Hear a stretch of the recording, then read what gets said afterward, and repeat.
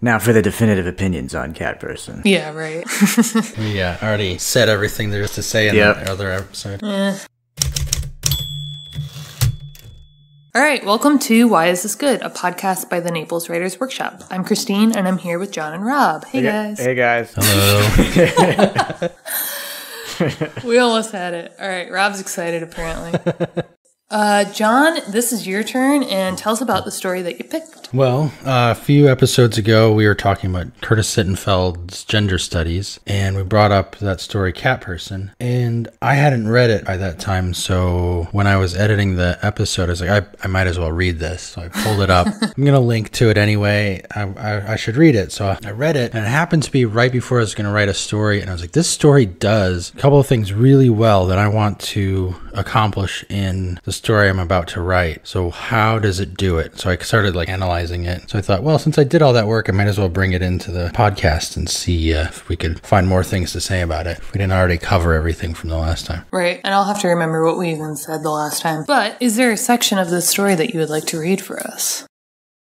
When Margot returned to campus, she was eager to see Robert again, but he turned out to be surprisingly hard to pin down. Sorry, busy week at work, he replied. I promise I will see you soon. Margot didn't like this. It felt as if the dynamic had shifted out of her favor, and when eventually he did ask her to go to a movie, she agreed right away. The movie he wanted to see was playing at the theater where she worked, but she suggested they see it at the big multiplex just outside town instead. Students didn't go there very often because you needed to drive. Robert came to pick her up in a muddy white Civic with candy wrappers spilling out of the cup holders. On the drive, he was quieter than she'd expected, and he didn't look at her very much. Before five minutes had gone by, she became wildly uncomfortable, and as they got on the highway, it occurred to her that he could take her someplace and rape and murder her. She hardly knew anything about him after all. Just as she thought this, he said, Don't worry, I'm not going to murder you, and she wondered if the discomfort in the car was her fault, because she was acting jumpy and nervous, like the kind of girl who thought she was going to get murdered every time she went on a date. It's okay, you can murder me if you want, she said, and he laughed and patted her knee. But he was still disconcertingly quiet, and all her bubbling attempts at making conversation bounced right off him. At the theater, he made a joke to the cashier at the concession stand about red vines, which fell flat in a way that embarrassed everyone involved, but Margot most of all. During the movie, he didn't hold her hand or put his arm around her, so by the time they were back in the parking lot, she was pretty sure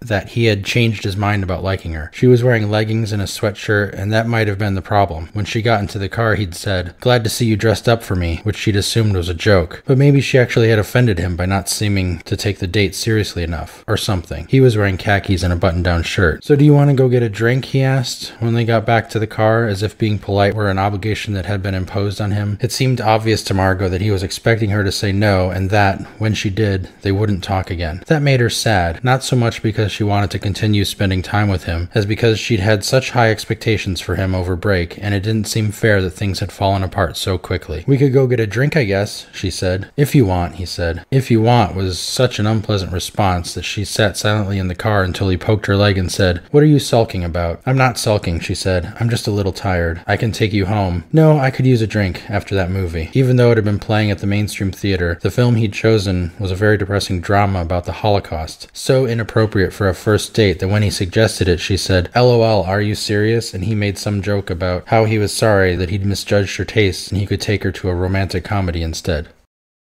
Did you say who this was by? No, I don't think I did. Kristen Roupenian. So, what did you think about the story, John? Because this was your first time, like you said, after having heard a lot about it. Yeah, it was a lot of what you guys had said. Obviously, um, you weren't wrong about what it was, and uh, I thought it was very good. It had this um, energy. As soon as you started into it, it just pulls you forward, and I really liked that. Yeah, overall, I thought it was a great little portrait of a really awkward interaction between two people, and uh, I thought it was well well written, um, memorable, and um, a good story. So I, I think the thing that really kind of caught me is I realized about this story that there's a lot. I think if this had come into our workshop and she had listened to our advice, and I would have been guilty of, of this as well, we would have butchered this story. Well, we do that, to be fair, just because the nature of the workshop is the idea that it's unfinished or not published. But Well, that's true. Yeah. But what do you think we would have criticized? Because she does, ignores the advice about telling and showing in a really, really kind of amazing way, where she tells us so much. So much of this story is told in places that under normal circumstances you would the advice would be don't tell that, show it. But it works. It works really well and it, it accomplishes so much more than what would have been accomplished had all those moments been shown rather than told. Right. So I don't know if this is going to make sense, but that was kind of my takeaway after reading it now. The Because- show and tell thing? Yeah. No kidding. Because this is the third time I've probably read it. And at first I read it and I thought, yeah, that was a good story. But I was so caught up in the fact that it had gotten legs like it did. It went viral and she had a book deal overnight. And all I could think was there's tons of good fiction out there. It's just this is the first time a millennial audience has read a short fiction piece.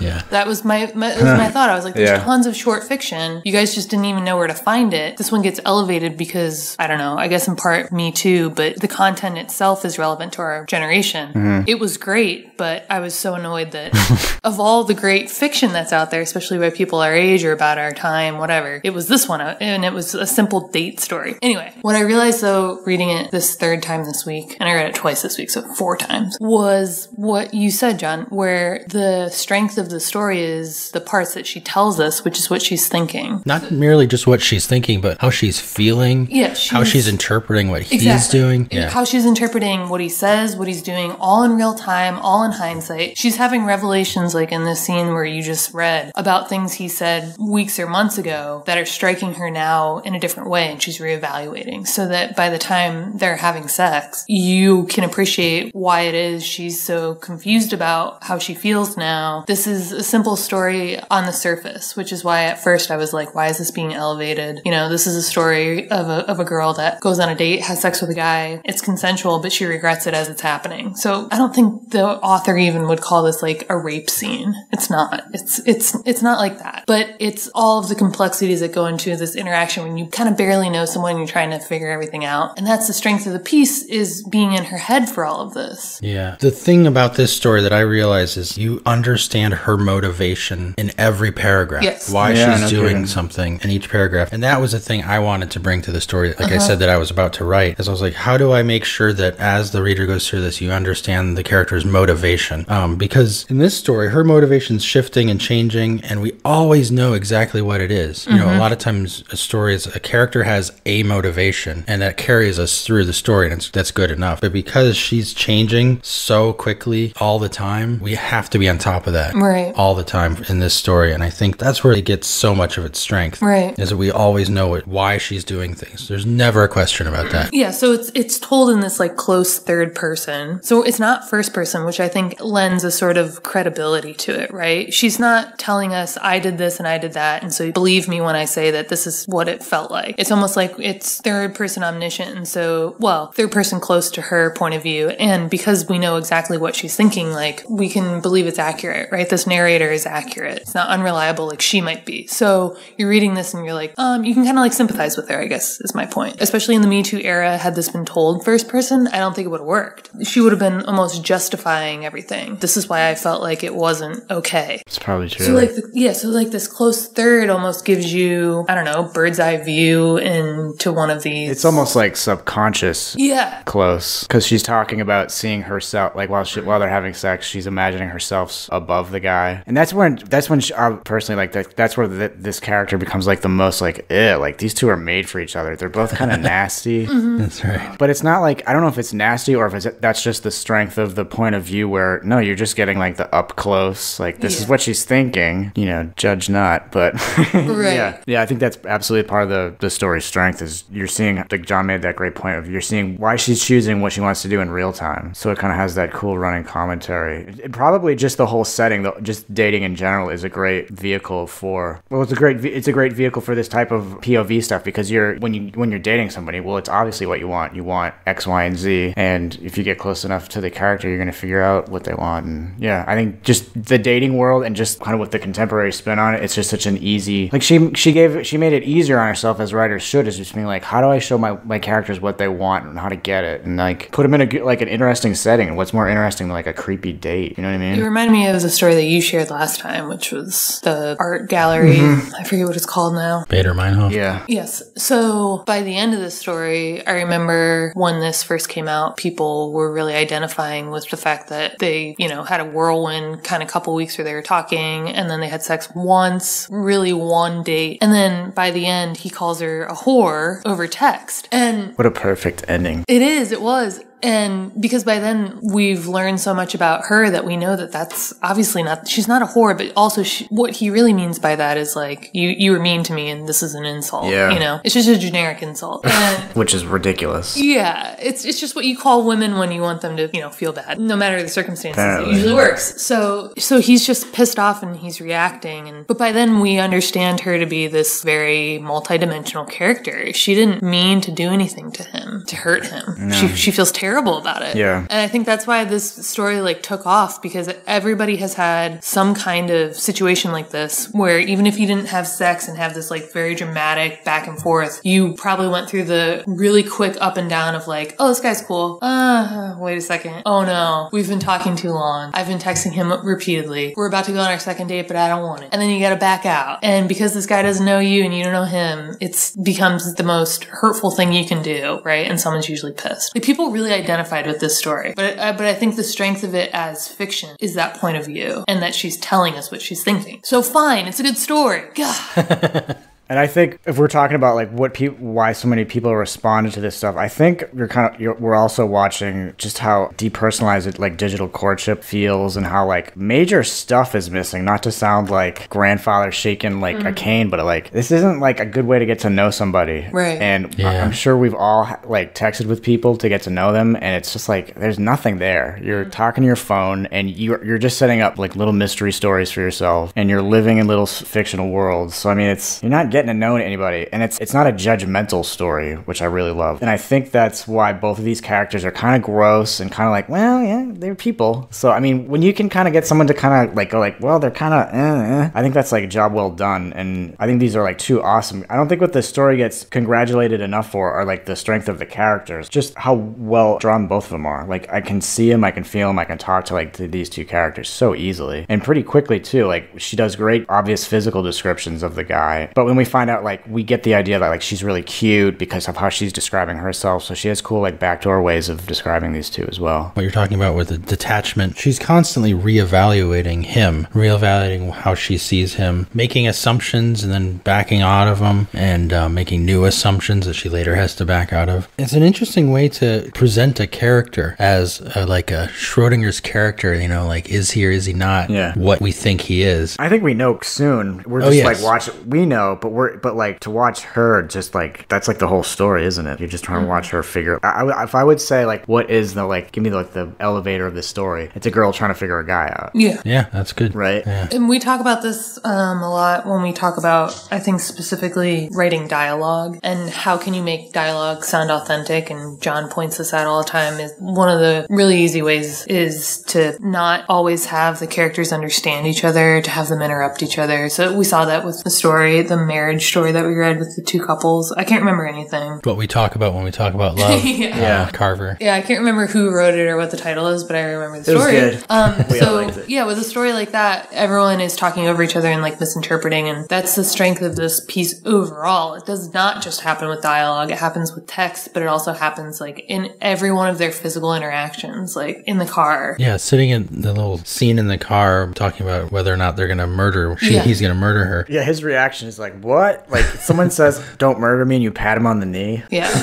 he's like, it's okay. That's such a great characterization moment. Like, I know that guy. Like, He doesn't know how to talk to any. Like, he's Uh-huh. Yeah. struggling. Yeah. Yeah, this guy you find out kind of late in the story when she does because neither of them apparently is clear on each other's ages. But she's 20, so she's not even old enough to get into the first bar they go to. He knows she's in college, but then she asks how old he is, and he's like, "I'm 34. Is that a problem?" It's Yeah. like only in the sense that you still haven't developed past these personality Right. dysfunctions where you can't even like talk to a girl. And the house sounds like a dorm room, and it's weird. And Yeah, so Not to give too many details. No, but to Rob's point, these characters are fully drawn and they're real raw humans in the sense that they are trying to understand each other, I think, in earnest, and it's just not working. But by the end, the guy, like, you know, he's butthurt. His pride has been damaged, you know? Yeah, she's really put them in like these great situations for just like full drama drama. Like, does he like me? I mean, Yeah. Because if you think about it, like when you're just starting to get to know somebody, it takes over your whole brain and everything, and it's like it's consuming and it's dramatic. So why wouldn't you like? Why wouldn't you set your st- like? Why wouldn't this be a hit if it's Yeah. if all the things were if all the planets aligned? Especially when so much of the types of stories we see this way end up well. They end up in marriage. with, with people with rom-com. shitty characters, Yeah. who aren't people. Yeah, it's it's more like you can apply this love story to yourself or something. I mean- this, this is good. I don't even I don't even think we really know what this guy wants. He's hanging out at the bar at the end of uh, not to give stuff away, but he's hanging out at the bar at the end of the story. So does he want her? We know what she wants. She doesn't want him, and that's like all we need to know. But with him, it's like we're still kind of guessing, which is part of the fun. I think which is part of the fun of the characters because well, he kind of outs himself as a prick at the end, but he's still like pathetic to me. I don't. Yeah, he is. He's not villainous. Yes. No, I, I feel like this girl would be would have been out of his league if he was also So twenty. f- I picture so far. out of yeah, but he had he had some advantage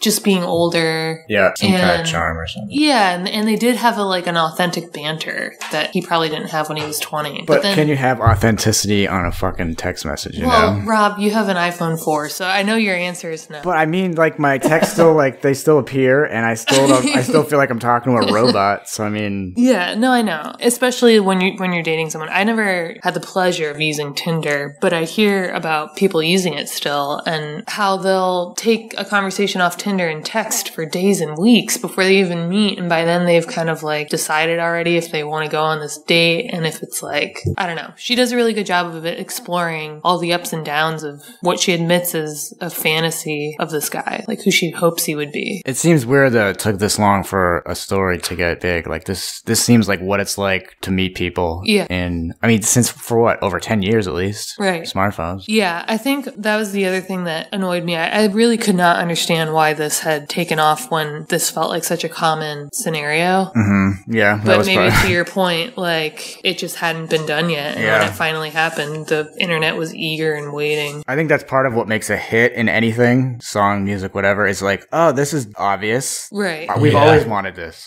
Yeah, That's right. like it. We've been waiting for it. And Yeah. it, it- someone delivered. Mm-hmm. I was mostly annoyed too that allow, allow me to explain my annoyance in even greater detail. It was just like I said, a lot of these people that were reading it don't read. Yeah. They do not read short fiction. They might read books, but they're not even fiction or they're not novels. You know, they're self help books or autobiographies. and I'm like, when was the last time you read a short story and were so captivated by it that you tweeted? You know, I was like, you know, I do this a lot. I just don't use Twitter. So I was, I was annoyed by my peers at this moment. There's great fiction out there, but we picked one about our phones to Rob's point. Yeah.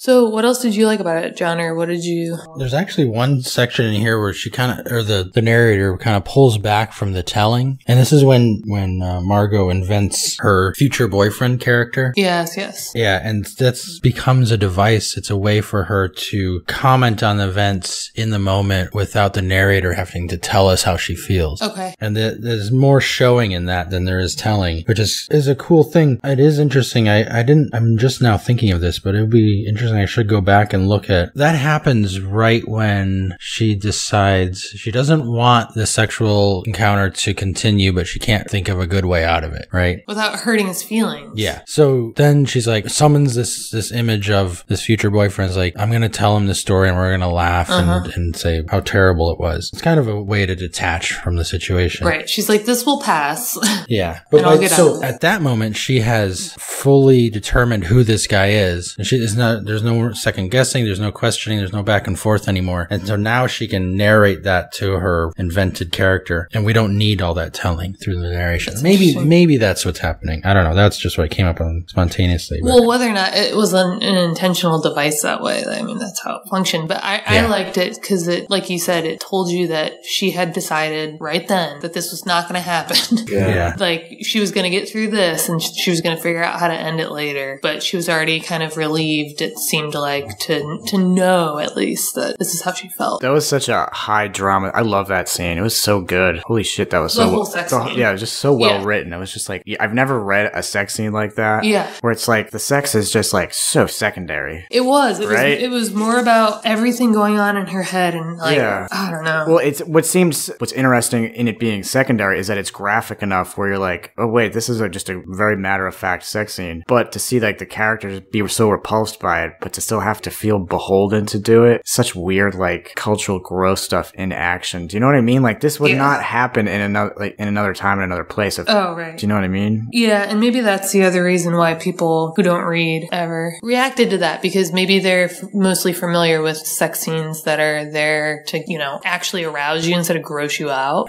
You know, Yeah. you're reading them in a totally different context. If it's not a romance novel, it's Fifty Shades or, you know, something stupid. Yeah. Where, where it's like, I guess, purely entertainment. And here it's kind of like, yeah, I'll entertain you, but I'm not going to like do it in a, in a way that you're happy with. And again, because she has two such good characters and they're both coming together like this, you kind of realize that, well, what she wants is not what he wants, you know, or vice versa, where he's getting what he wants and she just wants to get the hell out of there. And I think that's kind of one of the ma- main important things of the scene is right. It's not about them having sex. It's about like coming to the end of the rainbow as far as what they want. And that's like so critical. And that just happens to be like at that point. Yeah, there's. I'm gonna read it anyway. But at last, after a frantic, rabbity burst, he shuddered, came, and collapsed on her like a tree falling. And crushed beneath him, she thought brightly, "This is the worst life decision I have ever made." And she marveled at herself for a while, at the mystery of this person who'd just done this bizarre, inexplicable thing. Yeah, that was awesome. That made me laugh when I read that. Yeah, Yeah, she, it's cool how the dissociative stuff just kind of like happens, as I'm assuming dissociation tends to do, where it's just like all of a sudden she's imagining a boyfriend, all of a sudden she's watching herself do this. It's Yeah. cool. Yeah. It's a very cool trick. And it doesn't call attention to itself either. It seems very uh, attached to what's happening. Yeah, and I think maybe part of that is that this narrative distance is established so so early. Yeah, th- she has no love or hate for either of these characters. You feel Yeah. it's Uh-huh. it's real chill. Yeah, absolutely. Yeah, you do you do notice that ASAP. She's got very cool tone. yeah. And it's not smarmy either. It's so easy to kind of be like, oh, these characters. You know what I mean? like, That's right. Yeah, she's she's just it, like it feels like an honest presentation Yeah. of the facts. Like, and the facts include how Margot feels second to second. Right. Yes. Yeah. So the adjectives that she's using to be subjective aren't the they're not the the na- they're not the narrator's subjective point of view. They're, those are just for the for the characters. So like mm-hmm. bear like and everything. Those are all for for Margot. Right. Which is another cool way to establish that distance. Yeah, it's a cool way of like taking care of your characters. Like give them like if it, there's going to be a subjective tone for anything, let it be theirs. Because that can be hard to do as a writer. I feel like injecting myself once in a while, or maybe you know if that's part of your thing, do it. I'm not saying do one way or the other, but well, how she does her thing is really neat. Right. Yeah, there is no judgment. No. I, I think because it's told from a female perspective in this Me Too era, that's why women liked it. They're like, this is how it feels, you guys. Yeah. We're not trying to be jerks. And but she she's not judgmental either. Yeah. She doesn't No, she's just kind of like, task. She's like, ah, how am I going to get out of this without, you know, offending him? She she can't even send Yeah. the nice text. Her friend has to pull the phone out of her hand. Yeah. and send it and say, "You, you're gross. Like, don't text me anymore." That was cool. And she's horrified by that. It was such a vivid scene. Yeah, Yeah, right. that, and that was such a 20 year old girl thing to do. Yeah. Like, oh, I'm so sick of hearing you, bitch. Give me your phone. That's Maybe right. ruin your life for you. yeah, and then by then she's like, so, oh, she's so relieved. Yeah, everything about this is just so real. Yeah, and not in like a boring after school special either. Like you're there, like sweating with these people because it is awkward. Yeah. Well So- done, Kristen. Yes, good job. What would you guys take away from this as a lesson? Don't date anymore.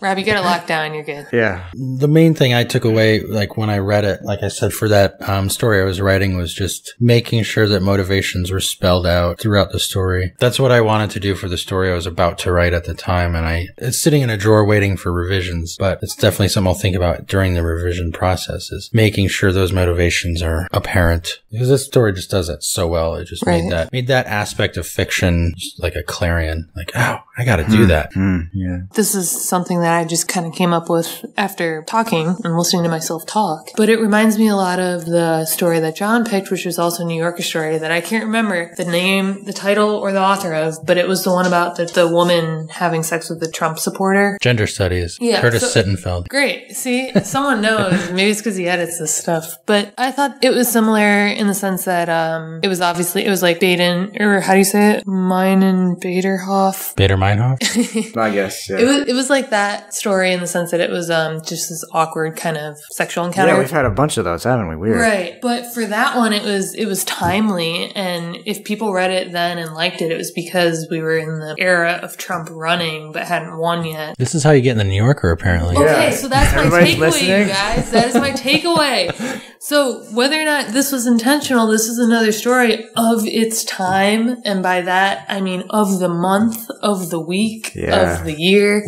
of the season. Next time you want to get published, and not just published, but maybe as a prompt, think of an issue that's happening and pander to your audience. And exploit accordingly. Yeah, show display your talents in a way that you know pretty much guarantees some kind, of, some set of eyeballs. Watch the cash roll in. Yeah, uh, this, this Kristen chick wrote a follow up first person piece in the New Yorker, kind of in response to what was being said about the story, and the takeaway was I heard this story was a prompt itself. Yeah, It was. She, like she had done something in school or something, and was like, oh, I guess I'll. Anyway, but You're right. she talked about in the New Yorker follow up piece. She was like, you know, people wanted me to, to get on here and tell you what it's like for your story to go viral, and here's what it was like. But also, I don't think it's the job of an, any artist to comment on the takeaway from the public. You know, like my job here is done. I've d- I delivered something to you, and you can like interpret it as you will. So she didn't really give us any insight into whether like I don't know. She gives a fuck. Yeah, or like it was of the time and the era and intentional that way. That's what our job is. Yes, but I mean, then then she was Duh. the, she was Did you luckiest person in the world. Yeah, I mean, this was she didn't land on Earth yesterday. Like she knew what was of the time and the essence, and she somehow capitalized on it. There's a worldwide best-selling author I heard say one time. He said everyone's path into success in, in writing, writing novels, writing stories, whatever it is. Once they've followed that path to become successful, the industry shuts it down behind them and won't let anybody up that path uh-huh. again. so No, I mean that makes sense. I I'm over it now. Yeah. Yeah. The path is up your ass. That's right where it goes. It's, it's kind of smart that way. It's like when people when we tell people in our group what little we know about publishing, we know that when you see a vampire story taking off, you don't write the next Twilight. You miss the train. Yeah. You had to anticipate it somehow. Anyway, Rob, what is your takeaway? Uh, shout out to Twilight. Um, my takeaway was, geez, she's so great. I don't know where to start. I just, yeah, I was just like hoo- hooked pretty. I like people meeting stories. I guess like I'm just realizing that now. I like the last one what DeLillo did in the the museum. It's just like it's a really, I don't know. As a writer, I try to find stuff that's dramatic and that's fun and cool. And this, when you're meeting someone and it's exciting, that has like your heart's going. and so that makes everything else heightened. So you want like a heightened piece, and like John said well earlier, like this thing pulls you along and it moves, and that's that's kind of our job. Reading's hard and it can be super boring, so make it fun and qu- like she does it really well. And that's like like sh- she's not. This story doesn't take off unless it's fun, unless it's interesting, unless there's tons of drama, and she does it. I don't know, Right. That's that's what a blockbuster is. It's fun. yeah, Not to belabor this point, but I think something as simple as two people meeting has high drama, like you said, for the average person. So you don't have to come up with something dramatic. Yeah, it's Like there. We see a lot of inexperienced writers come up with so much plot and, and hope that it's creative enough for you haven't seen this before, right? How many of these boy meets girl stories have we read? Yeah, good point. But they're the most exciting because they're so part of our daily life that, that it's high, high, high drama for us. Yeah. we're all human. Yeah. I mean, what do we want more than each other or, you know, a family or something? So just to, to see like the beginning or like the, not the fruition of that want, but kind of like the, it's, it's getting air sort of, you know what I mean? Mm-hmm. Like it's, it's coming out of the brain into the character's brain. Yeah. Right. That's huge. That's why I like The Bachelor. Okay. Okay. Edit that. All right. Well, thanks, guys. Thanks. Shoot, dude. It's porn.